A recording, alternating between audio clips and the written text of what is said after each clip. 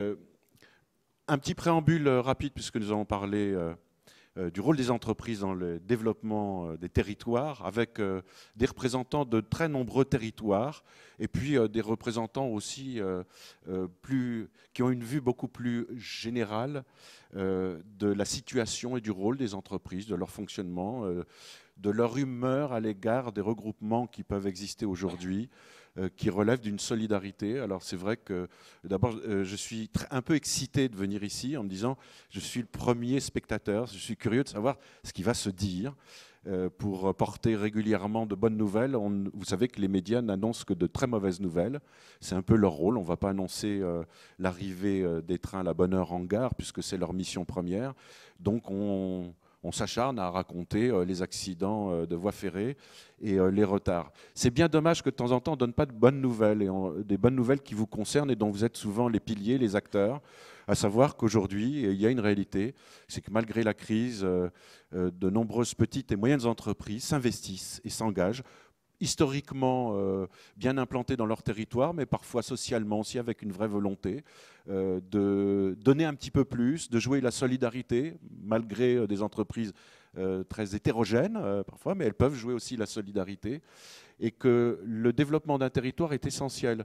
Je suis en train de lire un livre sur la décentralisation, parce que c'est finalement un thème récurrent en France, et que les deux entités les plus efficaces dans le développement des territoires sont les régions et l'Europe.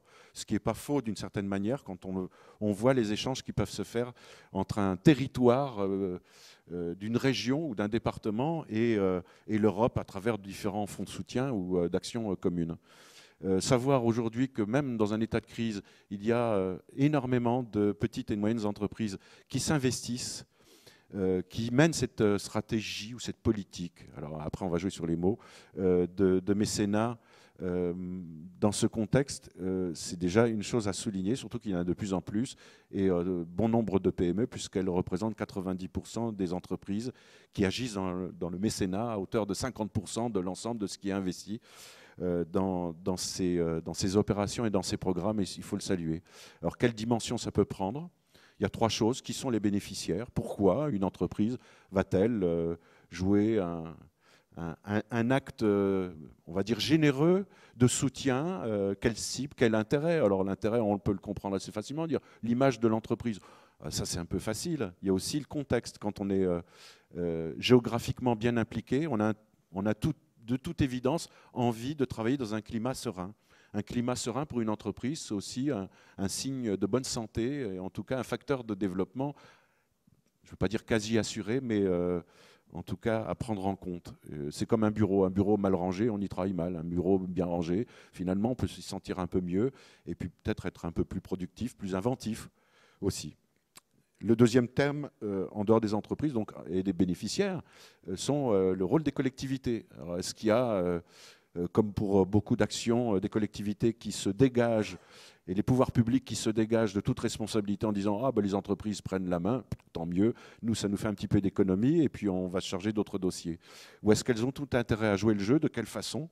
Les modalités d'échange et d'entente, de contribution à, ce mécénat sur le développement des territoires, on va en débattre. Alors pour, je vais faire une, carte géographie. Marc Demol représente la Charente, la Charente-Maritime. Oh là là, j'aurais dû vérifier ma géographie. Il faut prendre un micro, Marc. Et on va parler de l'action euh, menée sur un quartier bien spécifique, une action quasi unique en France. Euh, une autre action, alors cette fois pour le Maine-et-Loire, Mécène-et-Loire avec Stéphane Martinez, un, groupement euh, très très original aussi qui a eu une efficacité première et qui est certainement euh, le premier euh, de cet ordre en France aussi, il nous dira pourquoi. Laura Esposito del Rio, je le dirai sans accent, chargée de mission du mécénat à la ville de Reims, donc on est bien en Champagne-Ardenne, hein, pas mal. avec nous également, je ne vais pas me tromper, Gilles Allemand, Gilles Allemand est chargé du développement de la FRAPNA Loire, c'est la Fédération Rhône-Alpes de protection de la nature Loire. Alors lui était demandeur, il est bénéficiaire d'une action de mécénat, il veut nous expliquer de quelle façon il a procédé. Donc il représente la Loire, si vous voulez. Euh, le Calvados avec... Euh, Michel Larue. Michel est euh, président de Mécénacte Basse-Normandie, euh, créé en 2008 avec le Crédit Coopératif. Il y a un club d'entreprises du Calvados donc, qui s'est constitué, trois entreprises qui se sont unies dans un, objectif bien particulier à, effet social indéniable et à vertu sociale indéniable, dont il va nous parler, et Christophe Pro. Christophe qui a donc cette vision nationale lui, euh, président euh, national du CJD, du Centre de jeunes dirigeants d'entreprise, 4500 chefs d'entreprise et 100 implantations. On va parler aussi de euh, l'état d'esprit des entreprises. Stéphane, on va commencer par vous, puisque vous êtes un cas unique, dit-on en France, sur la, naissance de Mécène et Loire. né en quelle année? 2007. 2007.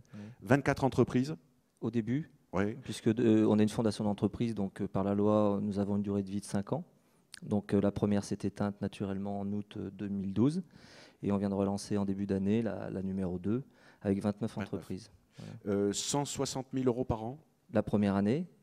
et là, on est à 200 000. Donc, on a le budget quinquennal d'un million d'euros. Voilà. Et le, précédent, enfin, le premier quinquennat était de, 700 000 euros. on, était sur 800 000, oui. et on a distribué sur, sur, des projets un peu plus de, de 700 000 euros. Pourquoi une fondation d'entreprise? Alors nous, il faut savoir qu'on est ici du, réseau des, chambres de commerce. Hein. En, 2007, le ministère de la Culture et CCI France ont signé une charte pour le développement du mécénat culturel et, euh, la promotion à faire auprès essentiellement des PME.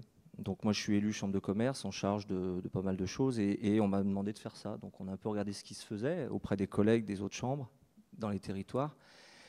Et pour notre territoire qui est particulier, hein, l'Anjou, euh, très très euh, c'est l'Anjou, quoi. Euh, très attractif, ouais, très attractif, oui, euh, très très culturel, très très ancienne. Hein.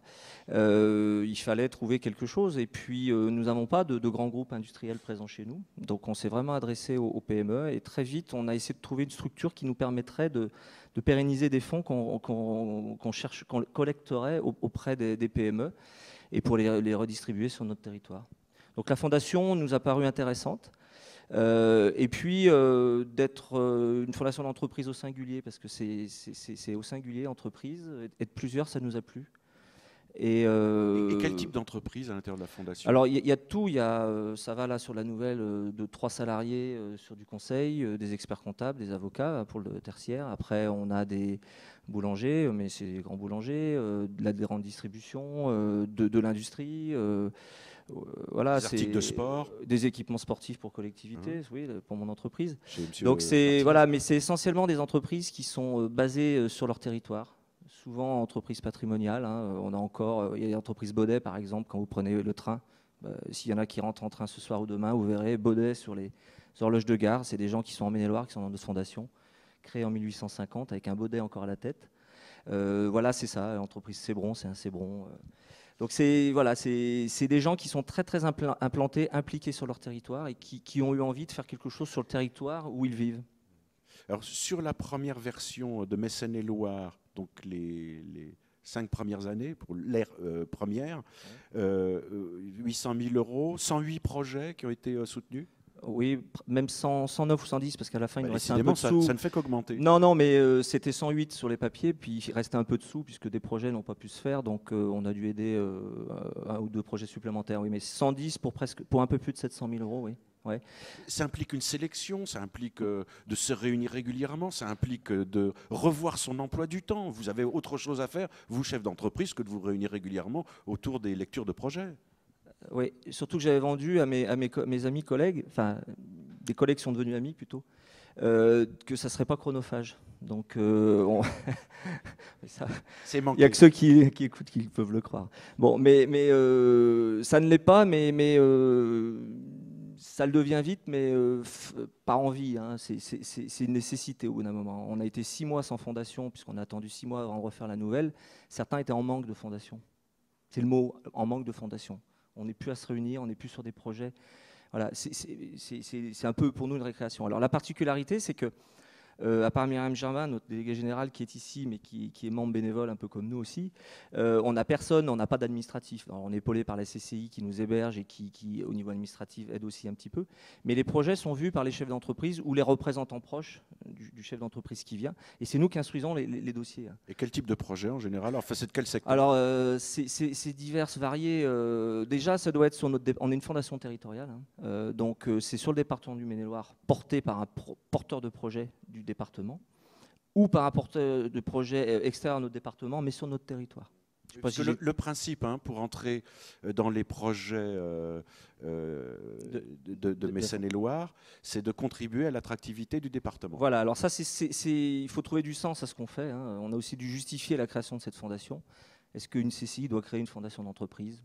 Bon, CCI France a statué là-dessus. Et finalement, ils ont dit que c'était la, solution la plus aboutie pour faire du mécénat. Euh, donc content. Un peu de satisfaction personnelle pour, pour tous les, membres. Mais euh, oui, c'est. Euh, c'est comment dire je, cherche mes mots. C'était quoi la question? Je ne sais plus. Il fallait écouter. non, non, mais non, euh, je parlais des secteurs. Des, euh, oui, le secteur. Donc c'est vraiment euh, le territoire du Maine-et-Loire qui, est notre, qui est notre secteur. Donc après, l'attractivité, c'est clair. on est en entreprise, on veut faire du développement industriel, du développement économique, on veut faire venir des salariés, l'attractivité au centre de tout. Et la culture, le développement de la culture est vraiment quelque chose d'hyper important. Donc c'est porteur de projet du département où on, a, on a créé une bourse dotée de 45 000 euros. Hein, sur un thème particulier, art, innovation, économie, Anjou. C'est un, jeune artiste de, Tours qui est venu faire une, réalisation photographique aérienne de notre territoire. Euh, autre exemple alors euh, d'un autre mécénat, donc en Charente-Maritime, j'insiste beaucoup avec Marc Merci Marc. Euh, c'est une action de quartier, alors elle est aussi unique euh, en son genre. Vous, vous, dirigez euh, un intermarché. D'ailleurs, vous êtes, euh, je crois. C'est une entreprise patrimoniale, tout à fait. On est indépendant. Et, vous êtes le, le, le, grand, le grand ordonnateur de, de l'Ouest d'Intermarché. je, je l'ai fait dans mon tiers-temps, j'ai arrêté, puisque maintenant je me suis plus consacré à la fondation. Mais je l'ai fait pendant un temps, oui. votre fondation fier de mon quartier quand même assez génial. Sauf que on se dit c'est du c'est du microclimat. Qu'est-ce qu'une des entreprises locales vont s'investir sur un quartier? Alors, c'est vrai que vu de l'extérieur comme ça, ça peut paraître un petit peu bizarre. Il faut connaître. C'est pas votre rôle, excusez-moi. D'abord, c'est pas votre rôle. Il y a des structures sociales qui normalement se chargent des, des dysfonctionnements des quartiers. C'est pas le rôle des entreprises. Oui, mais ce n'est pas le rôle non plus des entreprises de charger des dysfonctionnements. Euh, notre rôle à nous, il est de faire vivre notre territoire et particulièrement notre quartier. C'est un quartier qui a peu d'histoire puisqu'il est sorti de terre dans les années 70 pour accompagner euh, les décisions de la DATAR d'implanter un certain nombre d'entreprises. Il y en a une qui a employé jusqu'à 4000 ouvriers, euh, juste de l'autre côté de la, rocade. Et la ville de La Rochelle a donc construit ces immeubles pour loger les ouvriers. On, on sait ce qu'est devenu l'industrie automobile dans la fin des années 70. Et ils sont passés de 4000 à 3000, 2000, 1000 et puis zéro. Et donc le quartier, c'est devenu euh, un lieu de développement, un lieu de culture propice au développement de la toxicomanie, de l'alcoolémie, de la délinquance, etc. Et même dans l'esprit des vieux Rochelais aujourd'hui, ils ont encore cette image-là. Or, c'est un, quartier dans lequel il y a une mixité énorme, qu'elle soit euh, ethnique, religieuse, culturelle, politique, sociale, économique, philosophique. C'est extraordinaire. Euh, il y a un intervenant dans la session précédente qui parlait du, faire ensemble. C'est vraiment ça, c'est vivre ensemble et faire ensemble. La, fête du quartier qui a lieu au mois de juin chaque année regroupe plus de 5000 personnes qui font la fête ensemble, qui mangent ensemble et, qui, a priori, au départ, n'avaient rien à faire ensemble. Donc, très impliqués dans ce quartier-là, on était plusieurs. Il y a un collectif d'associations qui est né quand le quartier était au fond du trou, et c'est souvent au fond du trou qu'on trouve le ressort pour remonter. Donc, ce collectif est né à ce moment-là avait beaucoup de projets, puis c'est vrai qu'il y a un désengagement flagrant de l'État sur beaucoup de choses. Ils avaient un super projet qui était une web TV. Et donc, euh, on était quelques-uns à, financer de manière, euh, on va dire, très discrète le, collectif. Et donc, c'est-à-dire très discrète, vous faisiez bah, sans publicité, voilà, hein, voilà. Euh, et donc l'animateur du collectif est, venu nous voir. On, on, était deux dans mon bureau. il nous présente ce projet-là. Et le, but, c'était de voir comment on pouvait euh, récolter des fonds pour faire vivre ce projet. Et donc, en discutant euh, bien au fond du sujet, on s'est rendu compte que ça allait être chronique et que ça servait à rien de. Il fallait prévenir plutôt que guérir. Et en discutant comme ça, on a lancé l'idée de la fondation. Euh, il y a eu un blanc. Et puis, bah oui, on va faire ça. On a commencé à enseigner. On s'est rendu compte qu'on ne savait pas faire. De fil en aiguille, on a emmené un autre chef d'entreprise qui est de l'autre côté de la rocade, qui est une très belle entreprise qui s'appelle euh, Léa Nature. Et on lui a demandé s'il voulait venir jouer avec nous. Il a dit ben, Tu sais, euh, je suis en train de créer ma propre fondation. Donc, il avait quelqu'un chez lui qui s'en occupait, qui nous a mis en contact avec la Fondation de France. Et donc, on a créé cette fondation sous égide de la Fondation de France. Le, fait d'être, parce qu'il y, a quasiment autant de, personnes que de formules, euh, pourquoi se placer sous l'égide de la Fondation de France? Ça garantit quoi dans le fonctionnement de votre groupement d'entreprise? Alors, c'est un peu une solution de facilité, puisque la, Fondation de France prend en charge toute la partie euh, comptable, administrative, euh, financière, etc. Nous, on envoie l'argent. Lors de nos comités exécutifs, on dit quel projet on finance et ils renvoient l'argent. Est-ce que c'est un crédit supplémentaire dans le discours, dans l'argumentaire, dire nous, on est de toute façon sous, euh, le couvert de la Fondation de France, qui a sa légitimité, plus de 60 ans d'histoire, etc. Tout à fait, tout à fait. C'était pas le but premier. Mais on s'est rendu compte que quand on allait chercher d'autres entreprises, puisque le but c'est d'essaimer et de grandir le plus possible, euh, ça a apporté une crédibilité supplémentaire. Alors j'aimerais bien que vous nous disiez, euh, si, vous acceptez, que vous répétiez ce que vous m'avez dit au téléphone. Parce que je dis, mais euh, Marc, c'est beau, c'est un très, on va dire c'est un beau geste, mais qu'est-ce que c'est Pourquoi cet engagement On peut le comprendre, mais comme je disais, vous avez autre chose à faire. Et vous m'avez dit, mon seul bénéfice est humain. Et mhm. ce que, ma récompense est humaine. Tout à fait. Et avec un argument fort. Coluche? Oui. Ouais. J'aime beaucoup un certain nombre de phrases de, ce grand philosophe qui était Coluche, qui nous a quittés malheureusement. Euh, il était motard, je suis motard aussi. Il disait J'ai 14 motos. C'était un beau collectionneur de motos. Mais il disait aussi J'ai toujours qu'un cul. Voilà. Ça, ça résume, euh, ça résume la position des, chefs d'entreprise qui, se sont, euh, impliqués dans cette fondation, qui est vraiment une fondation de proximité, parce que quelque part, on ne finance pas des porteurs de projets, mais on finance des projets. Il faut qu'ils soient montés par plusieurs associations du quartier, et quelque part, on finance des gens qu'on côtoie tous les jours, dans la vie de tous les jours, que ce soit dans la rue ou que ce soit dans nos entreprises. Autre cas de figure, nous allons en Basse-Normandie, en Calvados, avec euh, Michel Larue, président de Mécénac de Basse-Normandie, euh, créé en 2008. Euh, trois entreprises à l'origine Oui, effectivement. Ça, marche. ça, marche. Trois entreprises. Je, vais, je, vais, brièvement vous rappeler comment a émergé ce, projet. La réflexion est venue au sein d'un comité dans lequel je siège, comité régional du crédit coopératif, je pense que tout le monde connaît le crédit coopératif qui, prône certaines valeurs, notamment l'économie sociale et solidaire. Et l'un des membres du, comité nous relatait euh, un projet qui venait d'être euh, monté avec beaucoup de difficultés par un médecin euh, local, un pédopsychiatre, le docteur Jean Vresse, qui, depuis de nombreuses années, dénonçait le fait qu'il n'existait pas de structure adéquate pour les adolescents en difficulté. Quand on parle d'adolescents en difficulté, la, jeunesse qui, qui, rencontre des problèmes de santé, toxicomanie, euh, euh, boulimie, anorexie, euh, j'en passe, et, des meilleurs. Et prétendait-il que la seule alternative qu'on avait à leur proposer, après avoir essayé de nombreux soins, c'était l'hôpital psychiatrique.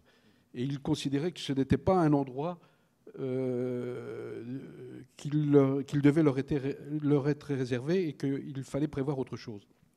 Et il pensait à une structure qu'un jeune aurait pu, dont, le jeune aurait pu pousser la porte pour venir chercher de l'aide, parce que bien souvent, ces jeunes n'en parlaient pas chez, eux, conservaient leurs problèmes en, eux-mêmes. Et il est parvenu, avec beaucoup de persuasion, a décidé la municipalité de, Caen de lui, de lui réserver un local pour faire euh, des consultations. On lui a d'abord demandé euh, en quoi consisteraient ces, ces, consultations et quelle quantité il, pouvait prétendre faire. il avait fait une évaluation du, territoire et, rien que sur la périphérie de Caen, il dénombrait tout de suite, la première année, j'aurais vraisemblablement 1200 consultations à faire. Vous savez combien il a fait de consultations la première année? 3500. 3500, c'est pour dire à quel point il y avait un véritable besoin. Et très rapidement, très rapidement, il s'est aperçu que cette structure avait s'avérait insuffisant parce qu'il était amené à laisser partir des jeunes qu'il avait eu en consultation et qui étaient en véritable danger. Et c'est là qu'il a de nouveau envisagé un autre projet qui consistait à avoir un hébergement thérapeutique de nuit pour conserver ces, jeunes. Et là, toute la difficulté a commencé à, s'accroître. Euh, vous savez combien, euh, dans le domaine de la santé, il est difficile de porter des projets que l'ARS euh, ne vous suit pas avec autant de facilité. Donc l'agence régionale de la santé. Oui, l'agence régionale de la santé. Donc c'est là, là que ces difficultés ont commencé à avoir. Et, nous, au sein du, du, comité, nous nous sommes souvenus que nous, avions, étions sous l'égide d'une fondation, la fondation du Crédit Coopératif, qui, pour des, projets louables, dignes d'intérêt, était en capacité de nous, de nous suivre, de nous accompagner, à la condition toutefois de constituer un club d'entreprise. Et c'est là que euh, l'idée nous est venue de chercher à constituer ce club d'entreprise et que nous y sommes parvenus. Alors, d'une certaine manière, donc la, fondation du Crédit Coopératif héberge le club d'entreprise, mais est-ce, qu'elle, est-ce que cette fondation intervient aussi euh, dans le financement du programme que ah vous avez oui, oui, oui, elle, elle, a largement euh, contribué au, au, montage euh, financier. elle a apporté autant que les trois autres entreprises hein, à, à, elle seule. Et, donc euh, cet hébergement thérapeutique a, vu le jour et a été inauguré en, novembre dernier. Et les trois entreprises n'ont rien à voir avec le secteur de la santé Pas du tout, pas du tout. Euh, elles relèvent en partie, euh, elles relèvent toutes du secteur du transport. Ah oui. oui comme quoi. Hein. Alors votre idée, c'est quoi? Parce que là, Autant il y, a certaines questions qui paraissent évidentes, mais on, en parlera. Mais vous, le bénéfice, c'est quoi euh, Le bénéfice. De futurs jeunes employés euh, bien, dans leur tête? Oui, certainement. Euh, les, jeunes, la, jeunesse vers qui est dirigé ce, projet est quand même l'avenir de notre société en général.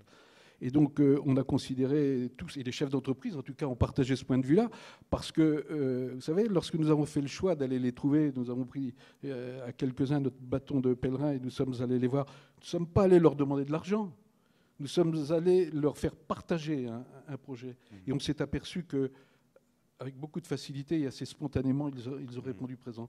C'est vrai, ce sont, des, ce sont des acteurs économiques qui ont des engagements envers la société, envers les tiers, mais ce sont des, hommes avant tout et des hommes de cœur.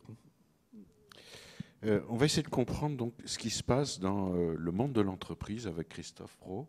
Euh, Christophe qui donc a cette vision plus globale, lui président national du CJD. D'abord, on, va commencer par une petite provocation parce qu'il y a des termes majeurs ou des formules majeures qui entrent dans les investissements et les engagements nouveaux des entreprises à travers des groupements, des fondations ou des clubs. C'est l'environnement, c'est le développement durable je ne sais pas ce sont des soucis majeurs, en tout cas ce sont des, formules un peu redondantes qui sont véhiculées euh, partout aujourd'hui. Euh, et, même sur l'action sociale. il y a eu le greenwashing, c'est du social washing que font euh, nos chefs d'entreprise. Bonsoir. oui, c'est vrai que c'est un bon début là. Euh, non, je pense pas du tout. Enfin, aujourd'hui, qu'est-ce qu'on on, s'est rendu compte que le, rôle de l'entreprise, il a quand même euh, vachement évolué, je dirais, dans, la cité, sur le territoire.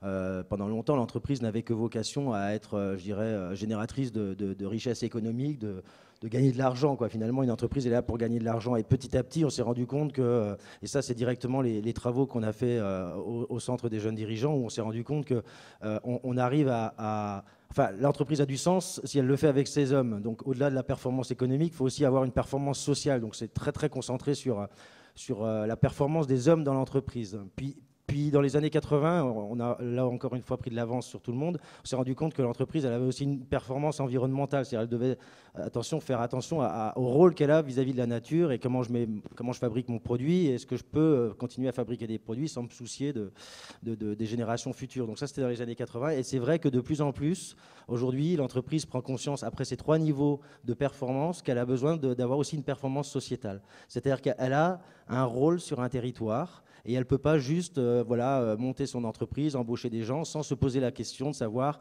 quel lien j'ai avec les acteurs locaux, euh, comment je crée, enfin ce que j'ai entendu de la part des précédents acteurs, c'est juste extraordinaire, c'est la vraie vie de l'entrepreneur, c'est l'entrepreneur qui a un cœur, c'est l'entrepreneur qui dit je ne suis pas seul à, à, fabriquer mon produit ou mon service, je le fais à un endroit et si je ne m'intéresse pas à l'endroit où je suis, un jour l'endroit me le rendra. C'est-à-dire qu'il me formera plus des, futurs collaborateurs, il me fera plus des jolies routes pour que mes camions puissent amener de la marchandise, le courant arrivera moins bien, le club de foot ne m'invitera plus. Bref, il y a une vraie vie autour de ça. Et en fait, cette notion de mécénat, cette envie d'engagement, qui, vraiment, il faut, l'entendre, ça part du, cœur de l'entrepreneur. Il n'y a pas de mécénat philanthropique, en tout cas pas dans les TPE, PME, ça c'est sûr.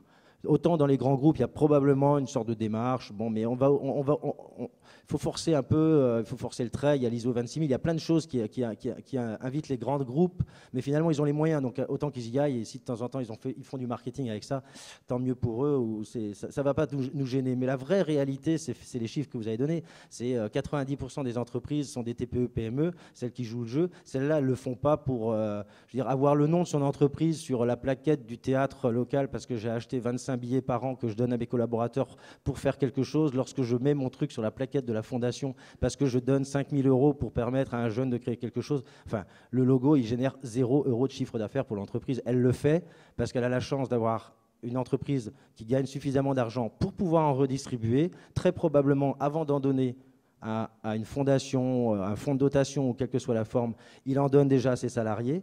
Peut-être même qu'il s'en prend un peu pour lui aussi, le dirigeant, parce que ça veut dire qu'il a pris des risques. Il va aussi rembourser ses dettes, il va aussi faire ses investissements pour que son entreprise perdure. Et très, général, très généralement, il a conscience qu'il a nécessité, dans le spectre de, finalement de redistribution, ben, il y a les acteurs locaux. Alors toutes les entreprises ne le font pas, on pourrait probablement être encore meilleur, mais pour moi le mécénat, la vraie réalité, c'est le mécénat de territoire, c'est ce qui se passe sur les bassins d'emploi et qui est très très en lien avec ce qui se passe dans le territoire. C'est pas, c'est pas juste, euh, voilà, je, donne, c'est, voilà, j'ai une problématique, c'est des anciens bassins miniers en Lorraine, c'est, c'est ce qui se passe par rapport à, la perte d'un gros site industriel, c'est, c'est une, ville culturelle, c'est, euh, voilà, je, peux citer une ville comme Colmar où il y a un très très gros industriel qui a lui-même sa fondation et qui a une vraie action, je dirais, locale pour générer une culture, euh, je dirais, internationale, parce que l'entreprise est internationale. tout ça, ça crée de la richesse, ça crée du lien et c'est très très bon. Et ça rend l'entreprise utile. Donc aujourd'hui, la la vraie réalité, c'est le lien entreprise avec le territoire et la vraie vie. Et l'émotion, le cœur du dirigeant avec sa sensibilité, avec ce qu'il a envie de faire pour lui. Hein, parfois, il le fait aussi parce qu'il aime l'art ou parce qu'il aime le sport ou parce qu'il aime euh, créer des entreprises où il est sensible à l'économie sociale et solidaire ou X ou Y. Parfois, il le fait aussi pour ses collaborateurs, donner la chance aux collaborateurs de faire des choses qu'ils ne peuvent pas faire. Euh, ou alors simplement il veut faire vivre un quartier et donc il, dit bah, je vous confie un peu d'argent, faites en sorte qu'on fasse un beau projet avec ça.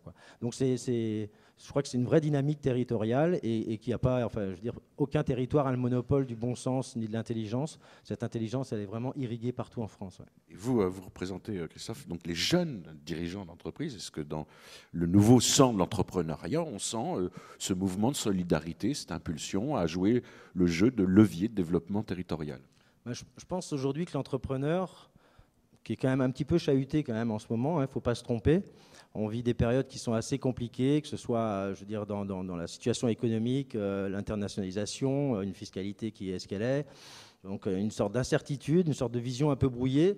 L'entrepreneur, si vous voulez, il perd pas ses valeurs. Et il y a, hum, si aujourd'hui le, mécénat ne, baisse pas et, voire même progresse alors que dans une situation de tension, on se dit, tiens, quel est ce paradoxe? Alors que logiquement, tu as une, sorte de réflexe de repli. Je vais garder mon argent. Hein, c'est comme le particulier. Quoi. Je veux dire, euh, aujourd'hui, plus la crise va pas bien, plus le livret A il monte hein, en stock d'argent. Donc ça veut bien dire qu'en zone de repli, on garde. Et pourtant, l'entrepreneur il redistribue. Parce qu'en fait, je pense que euh, et c'est ça qu'on oublie. C'est aussi ça que les médias, je dirais, euh, torturent les journaux d'informations, je dirais, qui sont qui sont fausses. C'est que l'entrepreneur, c'est un homme avec un cœur et qui a une quête de sens. Et parfois, il rend aussi ce que la vie lui a donné. Et il, a simplement, il se rappelle que quand il a créé son entreprise, bah, il y a eu des gens qui l'ont aidé. Et quand il a réussi et qu'il a les moyens de redistribuer, cette quête de sens, je pense que plus c'est difficile, plus elle ressort. Et, on n'est pas dans le côté euh, euh, tout pour moi. L'entrepreneur, c'est vraiment quelqu'un qui, a, cette quête de, quête de sens importante. Est-ce qu'il n'y a pas un risque à ce que les, secteurs d'activité, les statuts des entreprises s'interfèrent J'entends, aujourd'hui on parle beaucoup, j'en suis le premier donc, à l'entendre et le véhiculer, de l'économie sociale et solidaire. Finalement, les entreprises, on va dire traditionnelles, classiques, à forme classique, jouent aussi sur la corde du social et solidaire. Finalement, on va peut-être plus s'y reconnaître. Alors, est-ce qu'il y a des mariages, je ne sais pas, des partenariats possibles?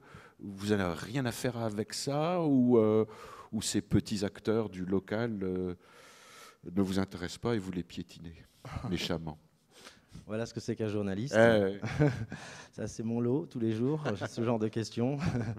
Euh, non, alors, je crois que, je crois que des, secteurs nouveaux comme l'économie sociale et solidaire ont, je veux dire, ont démontré leur pertinence dans, le sens, c'est-à-dire à partir de quel bout on prend l'entrepreneuriat. C'est la possibilité à un moment de finalement construire un modèle économique qui, euh, qui réfléchit différemment, qui est beaucoup moins orienté sur le profit, qui est beaucoup moins orienté sur euh, le dirigeant lui-même et qui est beaucoup dans la co-construction et qui a une, utilisation, enfin, pardon, une utilité, voilà, une utilité, je dirais, euh, publique, salutaire il n'en reste pas moins que c'est un modèle économique qui doit tenir. C'est-à-dire qu'à partir du moment où vous achetez un produit et que vous le revendez, il faut bien qu'il y ait une marge pour pouvoir payer, même si le, patron accepte de dire moi je gagne comme mes salariés 1200 euros par mois, pas de problème, et je trouve que c'est louable, euh, mais il n'en reste pas moins qu'il faut pouvoir les payer. Donc le modèle économique de, l'économie sociale et solidaire est, pour moi un modèle économique qui a, qui a besoin encore de démontrer sa pertinence parce qu'il euh, y a aussi des dérives possibles.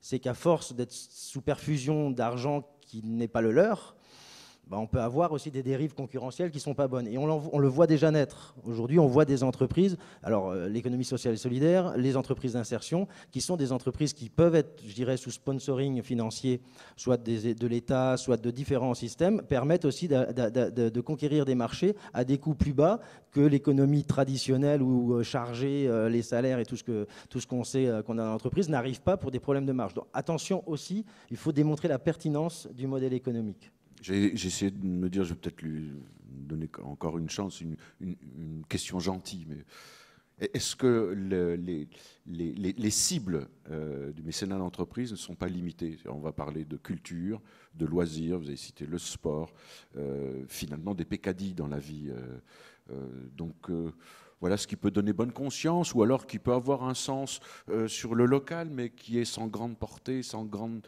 sans grande efficacité. Pas très dangereux, il n'y a pas de remise en cause. Non, mais enfin, je veux dire, moi, je ne suis, pas, pas sectaire sur le, sur, sur, euh, sur le, sujet. ce que j'ai envie de dire, c'est qu'en fait, il faut qu'on ait la politique de la mini-victoire. Quoi. En fait, si vous voulez, à partir du moment où, l'entrepreneur il, donne sur un secteur, que ce soit la, culture, euh, que ce soit sur euh, effectivement euh, des jeunes des quartiers pour créer quelque chose, une dynamique locale, enfin, c'est le principe de la mini-victoire. Parfois, c'est grâce à ces, mécènes qu'un théâtre dans une petite ville arrive à tenir le coup et à faire une, une, des, pièces de théâtre pour, pour, pour, pour la ville, enfin pour les, pour les citoyens. Parfois, ça la permet à des jeunes bah, de, créer son premier emploi, de créer sa, son, son, premier statut. Enfin voilà, un, un, un jeune qui prend un boulot et qui est arrivé parce qu'à un moment, il y a eu deux mécènes qui ont mis un peu de sous, qui ont cru en lui et en son idée, bah, c'est une, une, victoire. Et faites ça mille fois, bah, ça fait mille jeunes qui ont trouvé du boulot. Et si vous faites ça dans, dans 50 théâtres en France, ça fait 50 théâtres. Si vous soutenez le club de foot, ça fait des jolis maillots pour les gamins. Quand les gamins ils ont un joli maillot, eh ben, ils sont fiers de leur club de foot. voilà, tout ça, c'est un écosystème. Enfin, il ne faut pas le réduire faut pas le réduire. je crois qu'aujourd'hui en France, on a besoin de cette culture de la mini-victoire. On ne va pas changer les choses comme ça brutalement. Et l'entreprise peut injecter l'argent plus qu'elle n'en a. Euh, je veux dire, ça ne changera rien. Il faut avoir cette politique humble de la mini-victoire. Et à mini-victoire, mini-mesure. On peut faire un match nul et avoir déjà une victoire, parce que hier soir, j'ai lu ça dans la presse. Après, finalement, c'est une véritable victoire pour le PSG. Un bénéficiaire donc du mécénat. Euh, la FRAPNA, euh, avec Gilles, chargé de développement de la FRAPNA Loire, donc Fédération Rhône-Alpes de protection de la nature Loire. Qu'est-ce que vous faites au sein de la FRAPNA? C'est quoi la FRAPNA, Gilles? Alors la FRAPNA, c'est la Fédération Rhône-Alpes de protection de la nature. On parle beaucoup de culture, on parle beaucoup de, de dimensions sociétales et on parle finalement peu d'environnement. Donc nous, on s'occupe d'environnement véritablement. Donc on crée euh, notamment sur les bords de Loire, parce que la FRAPNA Loire, évidemment, c'est dans le département de la Loire. On crée autour du bord de Loire des exemples concrets d'ingénierie écologique. Alors c'est un grand mot. Qu'est-ce que c'est exactement? Alors je ne sais pas si vous avez entendu parler déjà euh, de l'écopole du Forêt notamment. C'est le premier écopole du coup en France qui fait cette année ses, 20 ans. Et c'est le premier exemple réussi du coup euh, d'ingénierie écologique. Alors pourquoi je parle de l'écopole du forêt? Tout simplement parce qu'il a pu voir le jour, il a pu sortir de terre grâce à une fondation qui était la fondation Crédit Agricole à, l'époque. Et c'est vrai que c'était il y a 20 ans, c'était pas si évident que ça. Le Crédit Agricole a eu une fondation Le Crédit Agricole a une fondation. Et ça nous a permis évidemment de lancer ce, projet. Après, évidemment, il y avait des fonds européens, évidemment, il y avait euh, une dimension qui était, qui était euh, nationale aussi, mais ça nous a permis évidemment d'avancer là-dessus. Après, euh, nous, sur le fleuve Loire, on a des éléments touristiques assez forts, puisqu'on a une réserve naturelle régionale des, des, gorges de la Loire, où on met en place des, des événements clés, ressources au, sein de, l'environnement. Et on a une gravière aux oiseaux, ça veut dire qu'on a des renaturations de, sites pour que ça puisse avancer évidemment dans le bon sens. Et c'est pour ça qu'on a lancé une campagne qui s'appelle la campagne J'aime le fleuve Loire, où on s'est dit on va faire appel aux mécènes pour nous aider à avancer dans le bon sens, puisque une entreprise, ça a une dimension évidemment géographique, mais ça a aussi un impact sur l'environnement. Donc quel est cet impact et comment est-ce qu'on peut avancer tous ensemble? Alors cette campagne J'aime le fleuve Loire euh, a eu des échos très très positifs. Donc on est allé voir encore à nouveau le, Crédit Agricole, mais puisqu'on parle de, PME, puisqu'on parle de TPE, on avait envie de faire un lancement médiatique intéressant pour dire que toutes les entreprises avaient la possibilité de s'y intégrer. Donc on avait des associations, donc ils ne vous diront rien, mais je vais faire un petit peu de publicité du coup, à une, entreprise qui s'appelle Tarvel, qui nous a permis d'avancer sur cette thématique-là. Alors pourquoi Tarvel C'est une entreprise de quoi? C'est une entreprise, c'est un paysagiste. Alors pourquoi pas écopole, paysagiste, euh, la Loire, ça va. C'est plutôt bien, c'est plutôt bien vu. Alors pourquoi un paysagiste c'est intéressant? Puisque pour simplement en termes d'historique, au niveau de, la Loire, au niveau de, la pollution que l'on peut trouver dans la Loire, on avait une activité qui était très importante donc euh, au sein de, de Londaine avec énormément euh, de, pollution tout autour du, du fleuve Loire et on mène une campagne qui s'appelle Zéro Pesticide pour avancer dans, le bon sens et pour qu'on puisse réduire finalement tous les produits phytosanitaires que l'on peut trouver euh, au sein des, différentes collectivités. Donc on avance et ça fait des effets finalement boule de neige entre les différentes collectivités, entre les paysagistes et entre les entreprises partenaires qui nous accompagnent au niveau de ces mouvements-là. C'est au profit, euh, dans le cadre de développement de cette écopole, euh, donc du forêt. L'écopole, ça a une vertu économique aussi, ça a une résonance économique. Alors, c'est une résonance euh, économique, notamment sur le plan touristique. Mmh puisqu'on s'est rendu compte que depuis 20 ans, on a plus d'un million de, visiteurs qui ont parcouru l'écopole du Forêt. Et là, je parlais de, de banques tout à l'heure. C'est vrai qu'on a été, on a été primé du coup par la ministre de l'écologie, puisque pour les, pour les 20 ans de l'écopole du Forêt, du coup, la ministre de l'écologie nous fera le plaisir de, sa présence sur l'écopole.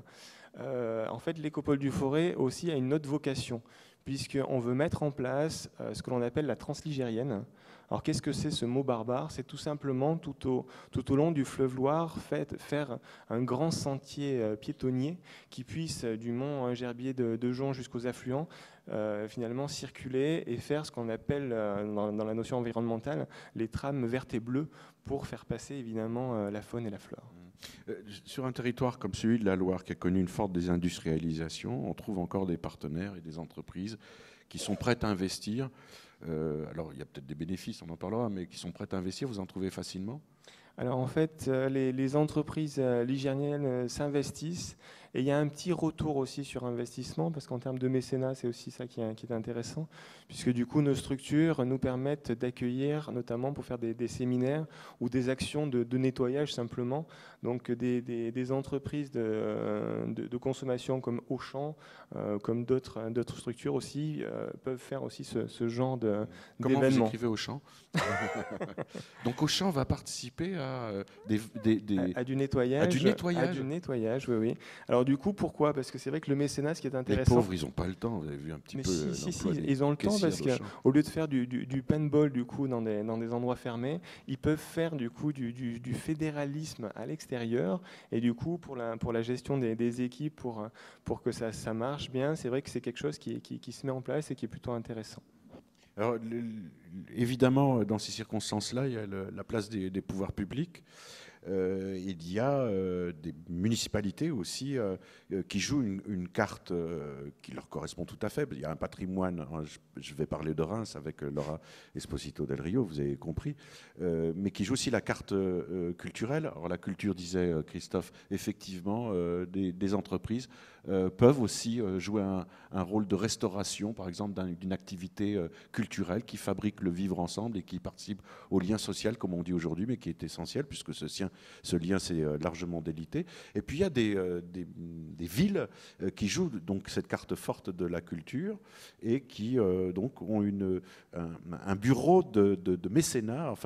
Laura, vous avez déjà expérimenté le mécénat culturel dans d'autres cadres et en particulier en Espagne. Hein. Si, en Andalusia. En Andalusia, ah, si. Pour le, le festival Cines del Sur. En Granada. Quand on connaît le, contexte euh, espagnol, alors, je ne sais pas si c'est récent, cette expérience. C'était il y a cinq ans, à peu près. Donc déjà, le contexte économique était, était catastrophique. très différent, mmh. malgré tout. Malgré tout, un petit peu différent. Le, plongeon a eu lieu il y a 3-4 ans, à peu près. Mmh. Euh, on, voit du côté espagnol le mécénat de la même façon que du côté français? Absolument pas. D'ailleurs, il n'y a pas euh, de contexte juridique et fiscal euh, comme celui qu'on connaît en France.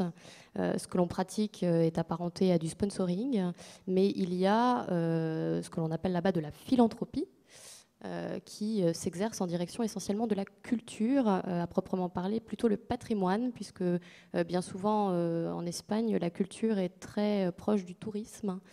donc c'est ce qui fait que le, la philanthropie s'y exerce un peu moins facilement. Et donc à Reims, alors? À Reims, c'est bien à Reims. Vous cherchez les entreprises qui pourraient soutenir vos projets culturels? À Reims, on me dit souvent que le mécénat est une affaire de femmes je suis euh, fort bien entourée et je crois qu'on s'est trompé euh, en me disant ça. Euh, donc à Reims, on existe depuis trois ans et on a été une des premières collectivités à fonctionner avec une mission mécénat ça reste une originalité au sein des collectivités territoriales, même si euh, en venant de plus en plus euh, euh, à Paris pour ces ce type de rencontres, je recroise souvent les mêmes visages de collègues de collectivités. Donc on sent qu'il y a un nouvel acteur du mécénat qui est en train de se positionner, qui, sont donc les collectivités territoriales. On a créé cette mission avec la volonté très forte de l'équipe municipale en place. Donc c'est une municipalité euh, socialiste, Madame la maire Adeline Azan euh, euh, avait cette volonté de créer la mission mécénat en regardant ce qui existait déjà sur le, territoire. Excusez-moi, le mécénat émanant de collectivités serait plutôt une attitude de gauche? J'attendais cette question bah piège. Non, absolument pas. Mais l'idée, c'est bien de dire à ceux qui sont dans des collectivités et qui veulent engager une démarche de mécénat que le, chez nous, le volontarisme politique a été essentiel. le porte-parole, le, le, gage de légitimité, la volonté politique a été essentielle pour mener à bien le projet. C'est absolument pas une affaire ni de droite ni de gauche. Euh, je, pense que ça a été d'ailleurs euh, débattu euh, de nombreuses fois et que les, les, polémiques qui font jour sur la question du mécénat et de son avantage fiscal entre les différents gouvernements sont à l'image de cet apolitisme du mécénat. Euh, donc la municipalité en place a voulu euh, regarder ce qui se passait déjà sur le territoire. Euh, j'ai croisé tout à l'heure Didier Janot, qui est président du cercle d'entreprise Prisme, qui existe à Reims. On a un cercle des mécènes autour du musée, des Beaux-Arts depuis de nombreuses années. On a des entreprises qui pratiquent un mécénat. Vranken Pommery est très célèbre pour les euh, expositions d'art contemporain qui sont pratiquées dans ses crayères. La municipalité a voulu chercher quel pouvait être son rôle en termes de mécénat en considérant ce qui existait déjà sur son territoire. Donc, l'objectif de cette mission mécénat, il est double. Le premier objectif, c'est celui de se dire comment, en tant que ville, en tant que collectivité territoriale, je peux avoir un rôle à jouer pour étendre sur le territoire une culture du mécénat. Alors c'est valable aussi bien en interne, parce qu'on se regarde soi-même avant de, regarder ailleurs. Donc le mécénat est un véritable outil GRH au, sein de la ville de Reims. Notre mission est transversale, ça veut dire que toutes les personnes, tous les agents qui portent des projets au sein de la collectivité viennent nous rencontrer pour formaliser un projet sur la base de mécénat. On porte les projets de la collectivité vers les entreprises. Donc on utilise le mécénat de manière transversale comme un outil RH, euh, finalement. Autre cible, les bénéficiaires du mécénat, les associations que par ailleurs la ville de Reims peut subventionner. Donc là, on peut se dire, est-ce qu'une collectivité territoriale ne devient pas complètement schizophrène quand à la fois elle verse des fonds et par ailleurs elle va en rechercher pour elle-même? Mais on fait le lien justement en se disant qu'on a ce rôle à jouer qui par ailleurs euh, a été historiquement le rôle des DRAC. Euh, lorsque la loi de 2003 a été mise en place, euh, on s'est dit que les DRAC avaient un rôle important à jouer, comme les CCI, comme les chambres de commerce, comme les chambres de notaires et les experts comptables avaient un rôle à jouer pour sensibiliser au mécénat et faire de la pédagogie sur les territoires. Ce qu'on peut remarquer, c'est que les villes n'avaient pas été citées. Les villes n'avaient pas été responsabilisées sur cette question-là.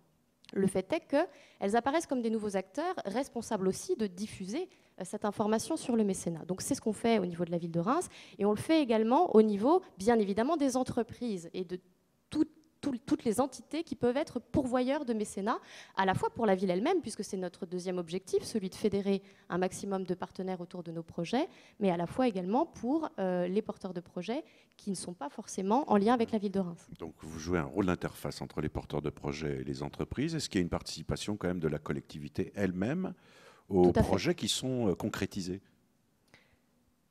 Il y a des projets qui sont concrétisés, qui vont euh, profiter d'un mécénat. Est-ce que est-ce que vous mettez des sous dit Christophe. Voilà. C'est un très bon journaliste. Bien sûr, oui, oui, il y, a un cofinancement. Alors l'idée, c'est de se situer dans cette, euh, dans, cette option-là, c'est-à-dire qu'à un moment donné, euh, quand on prêche la bonne parole, on se l'applique également. Donc, c'est-à-dire qu'une association qui va venir présenter à l'élu à la culture euh, un budget avec un mécénat en disant qu'il a par ailleurs une entreprise qui mécène une partie de son projet, la collectivité va suivre. C'est l'idée. Donc on travaille de manière transversale sur l'ensemble des thématiques qui, au sein de la collectivité, peuvent présenter, euh, au, sens de la loi de 2003, euh, un intérêt pour le mécénat. Ce qui n'était pas le cas à l'origine de cette mission il y a trois ans, puisque nous étions partis sur la thématique uniquement culturelle. La mission mécénat était englobée par la direction de la culture et du patrimoine. Nous avons aujourd'hui rejoint la direction générale des services pour assumer cette transversalité et pour être sur euh, une notion aussi extrêmement symbolique, structurelle, euh, et pour pérenniser la mission au sein de la collectivité. Et là, on rejoint encore ce que vous disiez tout à l'heure, on n'est pas sur une idée politique, on est sur quelque chose qui devient un service pérenne au sein de la collectivité. Euh, comment, Laura, motiver des entreprises et solliciter à partir du moment où on vit sur un territoire qui est déjà très identifié à cause de ces grandes maison viticole. moi, je ne veux pas, je veux pas m'engager parce que euh, Pommery le fera beaucoup mieux que moi. Il a les moyens de le faire. Alors, euh, Reims, c'est la Champagne-Ardenne, comme vous l'avez très bien dit. Donc, il y a la Champagne et il y a les Ardennes. Euh, facilement, le Champagne, on voit très bien ce que ça peut être. Et surtout, je pense qu'on se leurre beaucoup. Le Champagne, certaines maisons de Champagne se responsabilisent vis-à-vis -vis de leur territoire et portent des actions. D'autres ont leur centre de décision ici à Paris voient beaucoup moins l'intérêt de s'associer à Reims, qui par ailleurs ne correspond pas tout à fait aux valeurs qu'elle porte, les valeurs du luxe, euh, les valeurs de la fête, qui ne sont pas forcément euh, les valeurs qu'on associe euh, de prime abord à Reims. Et par ailleurs, on a les Ardennes. Alors la deuxième force économique de notre territoire, c'est l'industrie agroalimentaire, ce sont les céréales.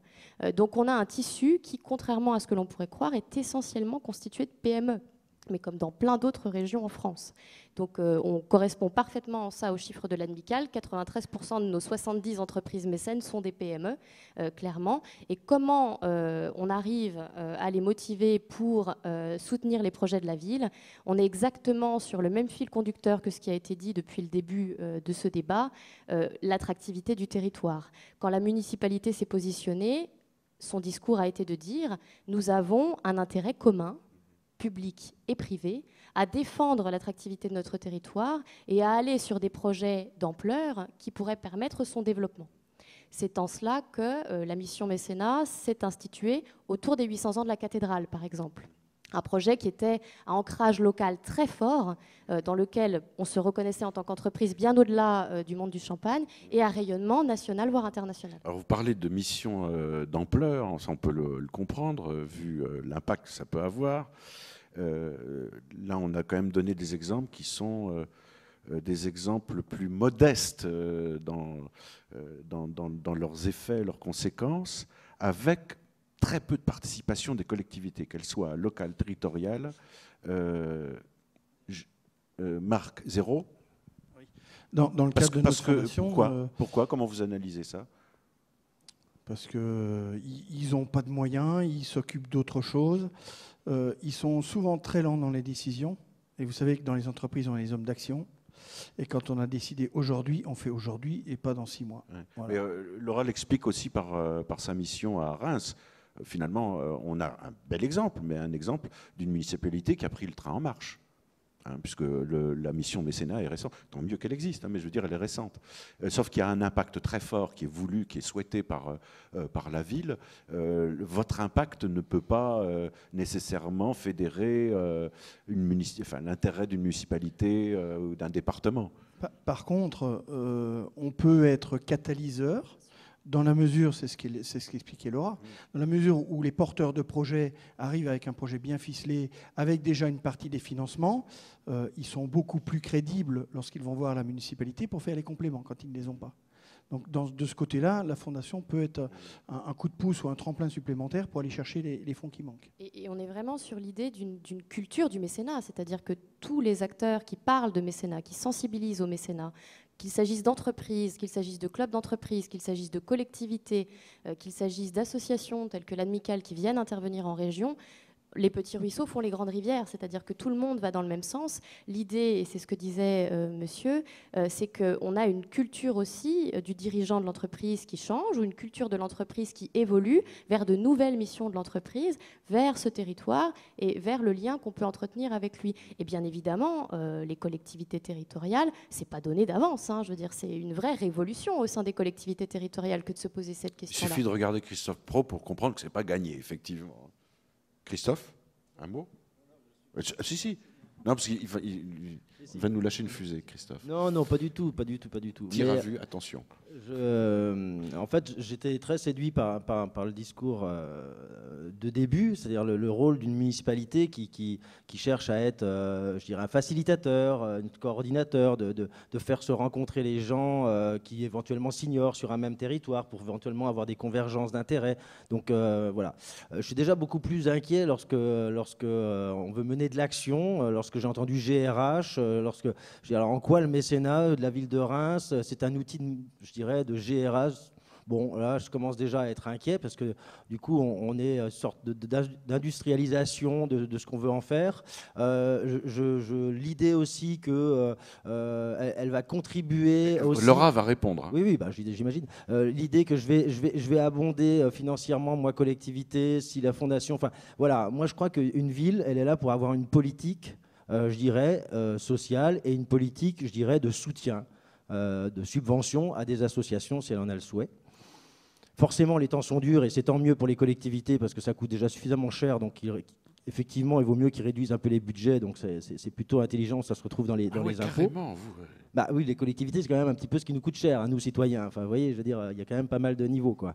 Enfin, surtout nous, citoyens. Hein, je parle pas entrepreneurs. Il faut bien un ordonnateur quand même euh, territorial. Oui, S'il n'y a pas d'organisateur, c'est plus la oui, peine. Oui, on en a. Alors moi, autant la ville, ça me parle bien, mais dès qu'on commence à rajouter le pays, le canton, euh, le Comcom, le, le CIVOM, le, le, Conseil général, la région et tout ça, c'est bon. Quoi. Donc, si vous voulez, je pense que c'est vraiment important que, c'est important que, euh, que les missions restent les bonnes missions. Donc je suis toujours inquiet dès que, euh, dès que le, politique, parce qu'on est quand même sur un niveau politique, a fortiori sur une grande ville, euh, rentre dans l'action et le financement, parce que, parce que le, mécénat ne doit pas souffrir, je dirais, de politisation. Et forcément, il y a un risque, je veux dire, on risque toujours de politiser le mécénat. Je veux dire, imaginez, je veux dire, euh, dans une ville, quelqu'un qui est industriel ou qui a une vraie boîte, mais qui est un opposant politique, ce qui peut arriver, ce qui arrive. Euh, je veux dire, on n'est pas sûr. On n'est pas sûr de l'équité de la démarche. On n'est pas sûr de l'équité dans les deux sens, hein, je dirais. Donc, voilà, S'il a l'intelligence, excusez-moi, quand même, du, du, profit, du bien public, qui est quand même. Ça serait. Ça se saurait, c'est quand même. Ça, se saurait, franchement, ça se saurait. oui, la, et, je crois que l'actualité, l'actualité nous le démontre. Non, mais bah, vous voyez, on a, on, a, on, va dépasser mon champ de compétences. on a dénoncé au début cette médiatisation à outrance du scandale qui cache euh, l'exercice fabuleux des acteurs locaux, des entreprises, des missions possibles, euh, euh, des, des, collusions possibles, et pourquoi pas avec les, avec les, les, les, sphères publiques, les collectivités territoriales. Et vous êtes le premier à dire, bah oui, mais vu ce qu'on voit aujourd'hui, mais ça c'est un épiphénomène. Non, c'est juste... On ne peut pas généraliser. Non, on ne peut pas généraliser, mais je pense qu'une municipalité doit jouer son rôle dans la cité qui est de faciliter l'écosystème pour que ça marche. Donc elle doit créer les conditions. Ce n'est pas le rôle d'une municipalité de faire du mécénat. Je suis désolé, ce n'est pas, pas son rôle. Elle a, elle a un budget subvention pour soutenir sa politique, s'il y en a une, je dirais, d'association. Euh, elle le fait, elle le fait très très bien, ou peu ou près. Moi, je n'ai pas de jugement de valeur là-dessus.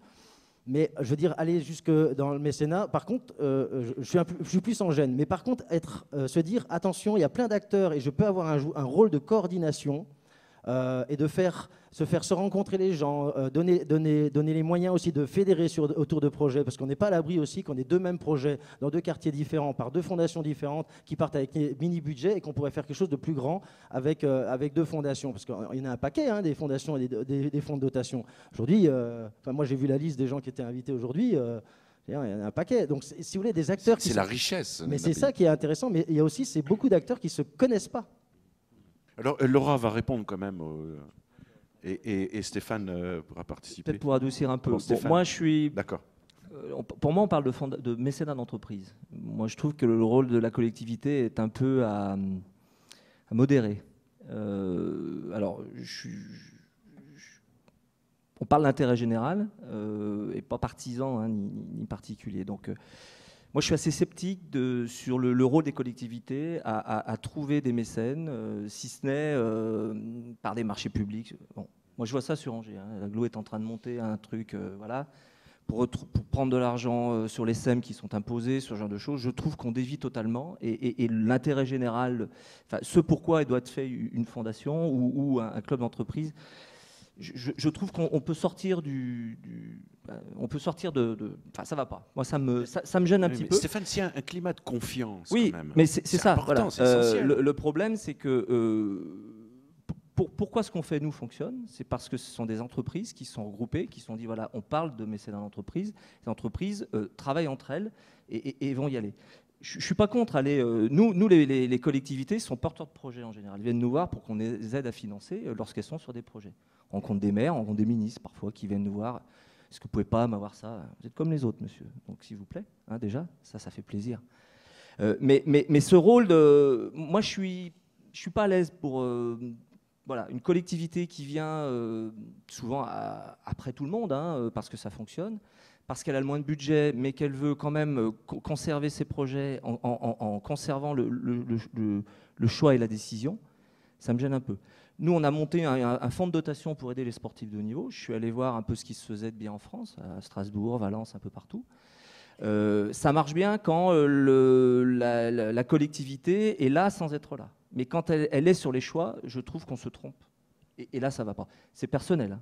Voilà. mais, j'ai l'impression que Reims, c'est plus structuré. Et, moi, Alors Michel, euh, Michel Larue et, Laura va répondre aussi à, Christophe. Moi j'ai quelque chose à ajouter parce que effectivement tout dépend de quel projet nous parlons. Hein.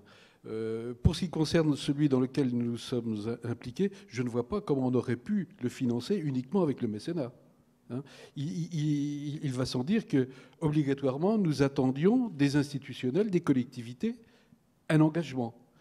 Et cet engagement, il n'a pas été simple à trouver. Mais par contre, euh, notre implication a été une sorte de catalyseur. À partir du moment où nous euh, nous, sommes euh, positionnés, eh ben on a pu voir certaines collectivités, j'ai la liste des, partenaires engagés, que ce soit la, préfecture, l'ARS, le conseil régional, le conseil général, ce n'est simplement qu'après un engagement du secteur privé que ces institutionnels se, sont positionnés. Oui, mais alors, en entendant Marc, euh, Stéphane ou Christophe, euh, d'emblée, il y a incompatibilité parce que les missions ne sont pas les mêmes. À partir du moment où les collectivités entreraient dans le jeu, elles ralentissent le processus, elles vont devenir arbitres, juges et euh, finalement fausser. Euh, ah bah, non, mais il y a des, il y a des projets. Non, mais en fait, vous partez d'un vrai projet, et, en fait, le, projet, il est, il est, légitime et tout. Vous avez des mécènes d'entreprise, et à un moment, la collectivité rentre dedans. C'est pas la collectivité qui a pris le leadership sur ce dossier.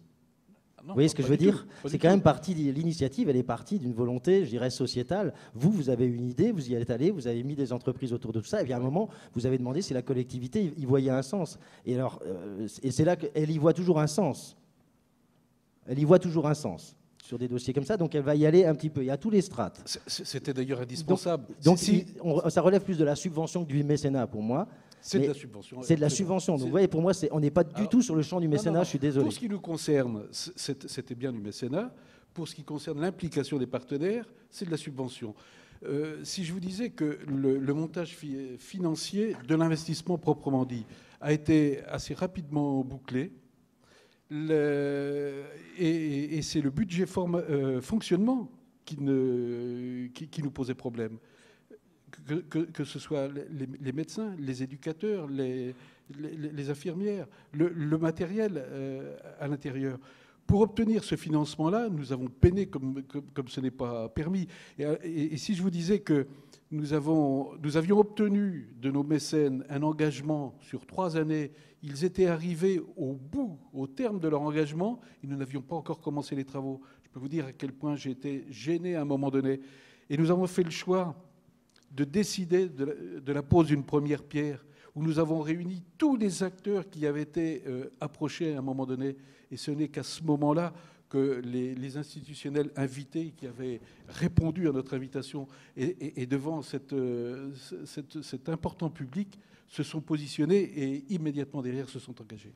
Non, mais je, pour moi, ce n'est pas du tout opposable. Hein. enfin, j'ai pas de, n'y voyez pas là. Euh, vraiment, je, trouve que la collectivité, lorsqu'elle, à un moment, met de la subvention parce qu'il y voit un sens, euh, moi, j'ai pas de débat. Mais c'était plutôt dans le sens inverse. C'est quand le politique euh, veut piloter le mécénat. Alors, je tiens à m'excuser auprès de, Laura.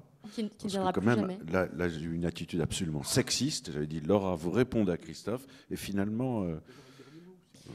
Alors, pour répondre euh, très rapidement, donc la, ville de Reims se débrouille très très mal puisqu'elle n'a pas de pot de vin, puisqu'elle ne met pas du mécénat dans des marchés, puisqu'elle est même en train de rédiger une charte éthique pour ne pas aller prendre de l'argent euh, dans les SEM. Euh, puisque je vois Madame la maire une fois par an, je pense, en rendez-vous pour lui faire un bilan de ce qui s'est passé et que quand je n'y arrive pas, je lui envoie une note interne. donc nous travaillons avec une véritable éthique, nous travaillons sur du qualitatif, nous avons aujourd'hui 70 entreprises qui nous soutiennent. Le plus petit don doit être de 50 euros. Ça doit être un don de de commerçants. Ça va jusqu'à des filiales de grands groupes, euh, en passant par euh, vraiment tout type de, PME. L'idée, c'est de fédérer autour de nos projets. C'est pas euh, voilà, de, faire de, l'abattage politique.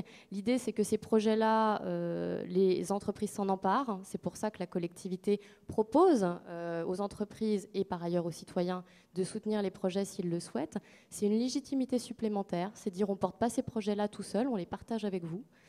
c'est clairement cette position-là. Alors je comprends euh, que ça puisse vous choquer et par ailleurs par rapport à l'outil GRH, euh, ce que j'entendais par là, et ça me semble au contraire extrêmement intéressant et ça me semble être peut-être même la chose la plus intéressante qu'on fait, c'est qu'aujourd'hui comme dans les entreprises, on mobilise nos collaborateurs autour de cette question-là. C'est-à-dire qu'on n'existe pas comme une petite cellule isolée qui fait son petit travail. On fait prendre conscience aussi en interne de ce qu'est le mécénat et on les met en contact avec l'entreprise, parce que les agents des collectivités territoriales, ils ne sont pas beaucoup en contact avec l'entreprise. Quand ils sont en contact avec l'entreprise, ils ont à peu près des réactions épidermiques, aussi épidermiques que celles qu'on peut avoir quand une collectivité se charge de mécénat. Donc l'idée, c'est quand même de se dire qu'on va dialoguer ensemble et qu'on va construire des projets ensemble, et le don reste une libéralité, c'est-à-dire que l'entreprise qui nous donne, elle a envie de nous donner. On fait très attention. Si elle est en négociation de marché, on ne rentre pas dans un contrat de mécénat avec elle. Voilà, on a, ce type d'éthique. Peut-être que ça n'existe pas partout. Euh, la, mission mécénat de la ville de Reims aujourd'hui, je pense qu'elle n'est pas rentable. Nous sommes quatre. Ça fait quatre salaires à payer. Si on était dans une logique pure et dure d'autofinancement et de rentabilité et de quantitatif et de tout ça, on arrête. Voilà, on arrête. Donc on s'est donné d'autres objectifs. Pour l'instant, euh, notre directeur général des services ne nous met pas à la porte. Pour l'instant, il nous garde. Donc pour l'instant, on a l'air de faire du bon boulot. L'idée, c'est que les collectivités qui ont envie de s'emparer de cette démarche-là le fassent avec les mêmes précautions, c'est-à-dire effectivement pas de manière artisanale, parce que souvent dans les collectivités, le mécénat, ça se pratiquait de manière artisanale et on avait ce genre de déboire, c'est-à-dire que c'était le pote de machin, l'ami de bidule. Bien sûr, ça se pratique toujours. Mais l'idée, si vous parliez d'homogénéiser ou de voir comment on pouvait euh, avoir un rôle d'observatoire aussi, c'est aussi en interne. On observe ce qu'on fait. Que la personne qui travaille à la direction des sports n'aille pas faire son petit partenariat mal fichu, parce qu'après, c'est comme ça qu'on taquine la loi sur le mécénat et qu'on dit qu'il y, a des dérives oui, il faut qu'on surveille ça et on le surveille d'abord en interne. Et c'est aussi notre travail. Donc, euh, bon, euh, c'est un élément de réponse et euh, je, suis contente de ne pas trouver sur notre territoire d'éléments bloquants, par exemple. Au niveau des entreprises, on n'a jamais eu de blocage. même Didier Janot qui est là-haut, on a construit avec lui avec plus ou moins de bonheur, avec plus ou moins de réussite. Mais en tout cas, euh, on est sur une co-construction sur le territoire et on ne veut pas prendre la place des entreprises qui ont pris des initiatives. Bien au contraire, il faut qu'on soit avec elles sur ce qu'elles veulent faire. Et c'est euh, bon. Après, il faudrait euh, voilà débattre des heures, mais et, je pense qu'on était à un niveau de débat politique et pas forcément technique, ce qui est moi mon boulot. Hein, je suis technicienne, donc je n'ai pas forcément les réponses à toutes ces questions-là. Est-ce que c'est légitime qu'une collectivité fasse du mécénat? Euh, On m'a euh, donné ce job parce qu'on a estimé que oui. Euh, je ne me suis pas, moi, posé la question responsablement de savoir si c'était bien ou pas. une note particulière concernant Reims, parce que là, il s'agit d'un mécénat culturel et Reims fait partie de ces villes qui ont participé à la décentralisation culturelle avec les grandes heures théâtrales. On se souvient aussi la compagnie Hausen euh, euh, impliquée à Reims, mais qui a joué aussi sur le développement de l'image culturelle de, cette ville et ses, actions culturelles. Ce qui fait dire, euh, ce que je disais au départ, c'est que les entités Europe et région aujourd'hui sont plutôt pertinentes si on oublie peut-être le facteur étatique qui peut gêner, embarrasser certaines personnes. à commencer, non, en finissant par nombreuses personnes, dont Christophe. Euh, euh, Gilles, les collectivités, vous, euh, sont intervenues dans, dans le, montage du programme J'aime le fleuve Loire Alors pour J'aime le fleuve Loire, c'est exclusivement du coup les, entreprises hein, qui, sont, qui sont présentes. Par contre, nous, les collectivités, forcément, pour tout ce qui est éducation à l'environnement, sont, sont partie prenante. Euh, au niveau des, En fait, on met en place des, kits pédagogiques spécifiques, euh, notamment sur, sur les rivières, sur le sol. Et évidemment, il y a un montage financier qui se fait avec les collectivités et avec le monde euh, privé, puisque dans la Loire, notamment, je fais encore de la publicité, on a, Badois, donc il y a une fondation qui s'appelle la Bulle Verte, qui permet aussi de monter des, projets.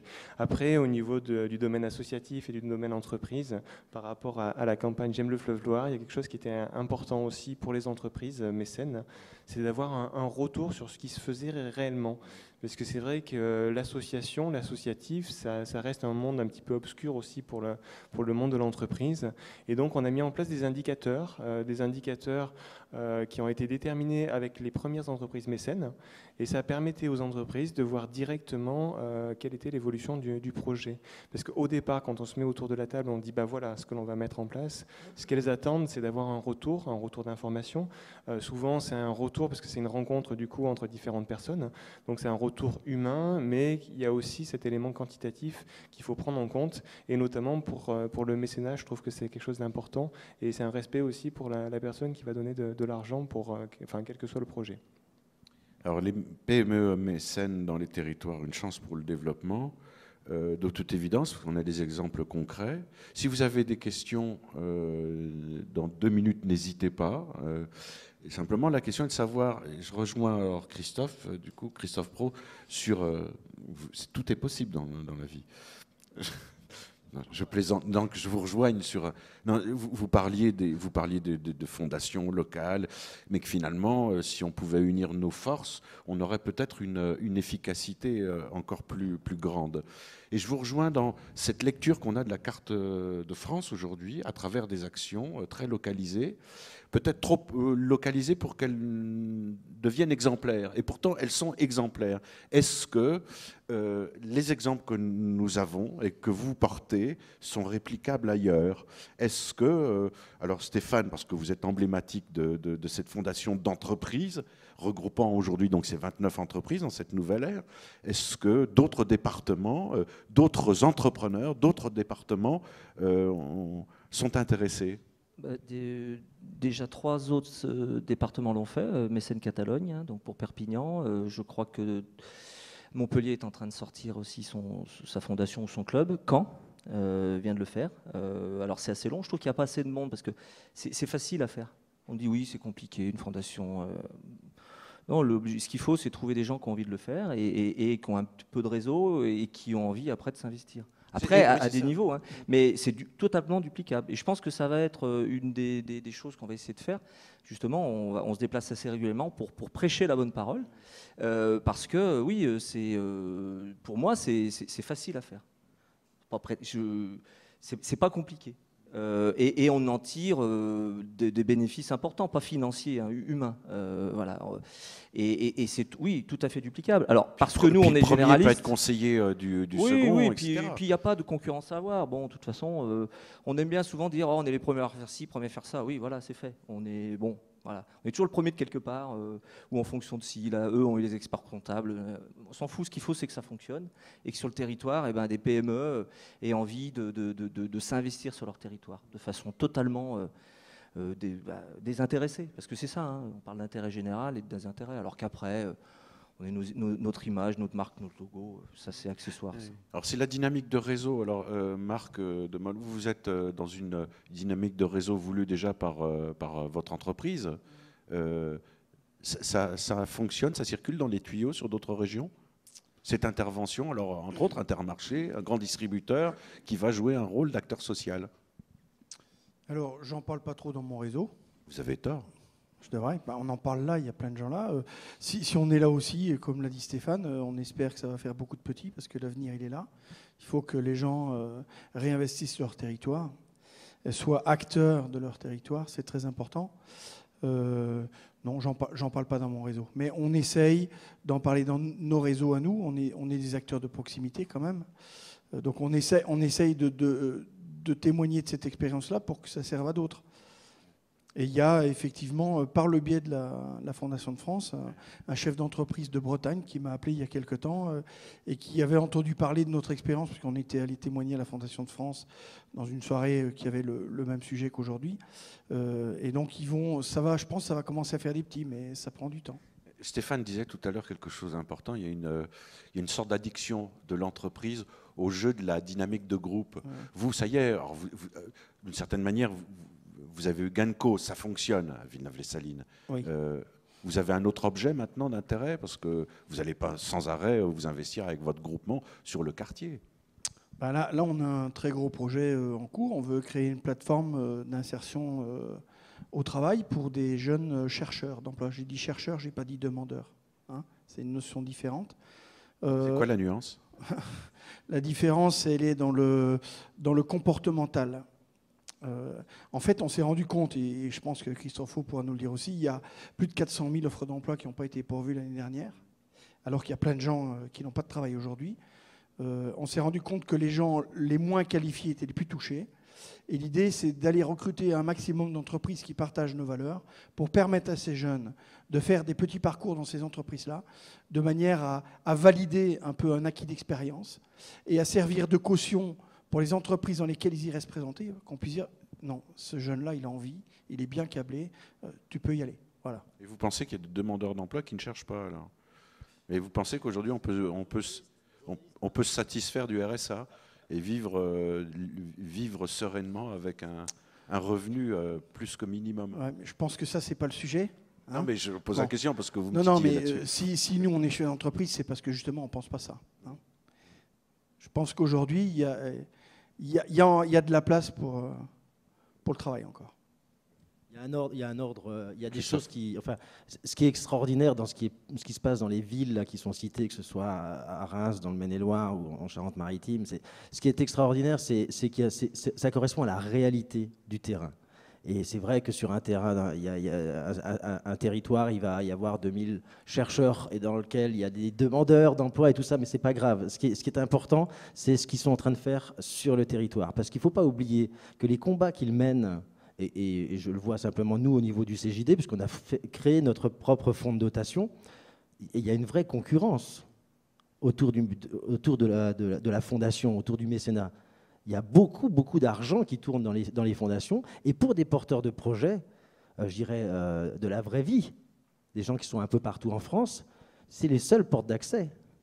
Parce que quand vous allez voir une fondation d'un grand groupe qui dispose euh, et qui sort une belle plaquette où il y a 20 millions d'euros de dotation, de tout ce que vous voulez, mais votre petit projet au fin fond du Choletais, bah, ce n'est pas gagné. Et c'est ces acteurs-là qui, qui, donnent la première, euh, la, première marche. Ou alors vous avez sur votre territoire un grand groupe qui est capable, lui, à travers sa fondation, de redistribuer vers d'autres fondations, ce qui se fait déjà très bien aussi. Donc c'est vraiment... Euh, il y a beaucoup d'argent dans le mécénat, hein. ça capitalise énormément de sous, que ce soit dans le, social washing ou que ce soit dans la vraie réalité. Mais quoi qu'il en soit, il faut que cet, cet argent il aille au bon endroit. Christophe l'a avoué, il y a bien du social washing. je, plaisante. Michel, euh, la, vie de votre club est limitée à cet espace euh, thérapeutique ou euh, vous avez d'autres enjeux? Nous, avons, nous envisageons de le poursuivre parce que les besoins ne se sont pas limités à, l'implantation. Maintenant, nous allons accompagner. Mais pour répondre à, votre question qui était de, savoir si euh, notre projet pouvait être dupliqué, oui, j'en suis convaincu. Il, peut l'être. J'en veux pour preuve, et c'est pourquoi je suis venu témoigner aujourd'hui, j'en veux pour preuve ce qui se passe à la Fondation du Crédit Coopératif. Euh, notre secrétaire, M. Mongarny, qui est là présent, pourrait vous le confirmer. Nous avons été le premier club d'entreprise à, nous constituer, mais nous sommes suivis de plusieurs depuis et, nous ne sommes pas arrivés au bout. Est-ce que euh, les témoignages, ce qui s'est dit, euh, suscitent des commentaires, des questions? Oui, monsieur. il y a peut-être un micro qu'on va. Euh, ils sont loin les micros. J'en profite pour, réagir du coup par rapport à la Chambre de commerce et d'industrie. Du coup, c'est vrai que le projet euh, J'aime le voir a commencé avec la Chambre de commerce et d'industrie, puisque c'est grâce au fichier QSE qui a, été établi par la Chambre de commerce que l'on a pu établir évidemment un fichier euh, source pour pouvoir euh, débuter. Voilà. Donc le, micro arrive, hein, je suis désolé. On a pris un petit peu de retard, mais comme on a commencé en retard, j'espère que Bénédicte Mélenchon m'en voudra pas. Donc on a encore 10 minutes allez, 10 minutes, un quart d'heure. Je sais que vous avez peut-être 5 minutes 5 minutes Non, non, ça c'est sévère, 5 minutes. 10, d'accord, merci. Ah, et, donc, ok. Alors, monsieur et puis monsieur. Ok. Allez-y, je vous en prie, vous avez le micro. Euh, Patrick Dugard, aéroport de Paris, euh, responsable de la RSE et administrateur de la Fondation. Euh, J'ai suivi avec attention la dialectique autour du mécénat public-privé. Je voudrais rappeler quand même une règle fondamentale pour euh, abonder dans le sens du président du CJD, c'est que sur les fonds de dotation, le législateur a strictement interdit aux collectivités de verser de l'argent public. C'est la première remarque. C'est absolument pas ce qu'on fait. On n'est absolument pas en train de verser de l'argent à des fonds de dotation. Non, non, mais je rappelle, oui, mais il y a, dans cette décision, il y a l'esprit du législateur d'introduire une distinction très nette entre ce qui relève du mécénat de la politique publique d'intervention. La politique publique d'intervention, c'est les subventions qu'une collectivité locale, territoriale, euh, va mettre en œuvre à travers euh, du subventionnement, y compris des compétences, madame, de, de ces fonctionnaires dans l'accompagnement de ces porteurs de projets. Je suis moi-même euh, ancien élu, donc je, je, partage bien la préoccupation des collectivités locales. Mais j'aurais tendance à penser que vous devriez vous appeler non pas mission du mécénat, mais mission de la RSO, c'est-à-dire la responsabilité sociétale d'organisation. Hein. Ça se développe, y compris dans des établissements publics. Maintenant, pour euh, abonder dans votre sens, il existe euh, des outils que le législateur a prévus pour euh, concilier l'esprit du mécénat privé et de l'action publique. Vous avez les groupements d'intérêt public. Je suis personnellement directeur d'un GIP, d'un groupement d'intérêt public, qui associe des PME, des grandes entreprises et des collectivités locales et qui euh, agit euh, territorialement sur un territoire défavorisé, précisément de l'Est Val d'Oise. Nous avons collégialement pris la décision de transformer ce groupement d'intérêt public en fonds de dotation. Qu'est-ce qui va se passer? Ces partenaires publics vont plus pouvoir abonder euh, directement, en tous les cas, ces projets. Eh bien, que nenni, parce que les projets qui seront identifiés, portés et quand on parle de nos projets, on parle bien de, des projets euh, des citoyens qui résident dans un territoire et qui vont être accompagnés par la puissance publique et par les entreprises. Hein. Et, eh bien, ces projets qui vont être sélectionnés, les collectivités euh, territoriales peuvent être membres d'un fonds de dotation qu'ils n'abondent pas, hein, qu'ils ne, dotent pas, mais ils peuvent être euh, partie prenante dans les sélections. Et puis, dans leur cadre de politique de subvention, accompagner les projets qui auront été sélectionnés. Mais vous comprenez bien que la distinction est essentielle et je crois que avec peut-être euh, la, même la brutalité, peut-être que le président CGD l'a souligné, je crois que cette distinction est fondamentale. Il est essentiel de la, de la même façon qu'il ne faut pas confondre mécénat et RSE. Merci pour euh, cette distinction, euh, monsieur, cette précision. Euh, monsieur, juste à côté, s'il vous plaît, ne repartez pas avec le micro, parce qu'il y a encore une question de la part de ce monsieur. Alors je dis bien question hein, maintenant, parce que si... oui. Mais là, merci pour la précision, elle était nécessaire et utile. Pierre-Jean Meurice, j'étais intervenu ce matin, j'ai une, une association qui s'appelle Les Ponts du Cœur, d'intérêt général. Et depuis dix ans, nous œuvrons pour justement décloisonner les territoires. Je suis un ancien président de la CGPME, je suis un chef d'entreprise, aujourd'hui porteur de projets culturels. Donc, euh, Monsieur le Président du CGD, je trouve que vous avez entièrement raison. Euh, les porteurs de projets sont des entrepreneurs et, au niveau du coût, c'est vrai que nous avons des initiatives et nous cherchons à ce que ce soit le plus bas possible. L'intérêt aujourd'hui du mécénat et des, porteurs de projets, c'est qu'il ne faut pas faire les poches en se disant les projets coûtent trop cher, il faut mutualiser les moyens, décloisonner les territoires. Quand je vois qu'en donc, se forment des entreprises euh, autour de fondations que l'on retrouve du côté de Perpignan, c'est là où ça devient intéressant, parce qu'on constitue un réseau qui va permettre d'avoir des vraies banques de données sur des vrais enjeux. Et l'intérêt, c'est de mutualiser les moyens. Les collectivités, moi je suis ravi, j'en ai 120 qui, suivent nos opérations. Euh, on a des sociétés comme Airbus qui nous font confiance, La Poste, et, nous sommes très heureux de nos projets. C'est difficile de donner. Alors justement, euh, je suis assez ravi parce qu'aujourd'hui, euh, les collectivités, évidemment, cherchent des moyens parce qu'elles n'en ont plus. Et on s'aperçoit qu'elles sont aussi porteuses de projets. Alors là, il y a un petit danger. Qu'on voit par exemple à Toulouse, on décide de faire un marathon des mots, ça commence à 400 000, ça finit à 800, ça finit à 1 million. Donc au bout d'un moment, on a besoin d'argent, on va chercher des mécènes. Quand vous utilisez un opérateur extérieur à la région, ça coûte encore plus cher. Ça, c'est euh, un des dommages des régions. Mais c'est vrai qu'on va chercher des mécènes, et on va chercher la poste. là, c'est pas un mécène, c'est un bouffeur de subventions. C'est un bouffeur de subventions. Et là, on voit des mécènes qui sont obligés d'accompagner l'action et l'initiative du porteur de projet, qui est la commune, ou euh, peu importe. Et dans ce cas-là, il n'y a plus rien pour les autres.